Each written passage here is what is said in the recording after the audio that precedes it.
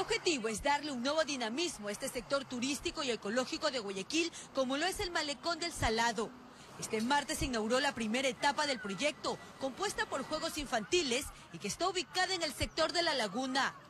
Mientras que la segunda fase será entregada en el mes de julio y contará también con otra zona de entretenimiento con juegos mecánicos, como una torre y una mini montaña rusa, así como un área de comida. El enfoque es la distracción, el entretenimiento de la familia.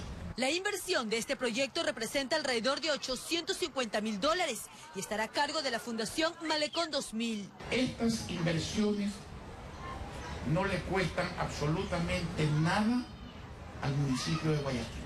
Aquí es donde hay que entender el modelo Guayaquil. Fundación Siglo XXI no es una fundación municipal, es una fundación privada. El gerente de la Fundación, Daniel Torres, considera que era necesaria una reactivación en el lugar, ya que últimamente había reducido el número de visitantes. Yo creo que la gente se, se enfocó también ahora a otras áreas de diversión dentro de la ciudad.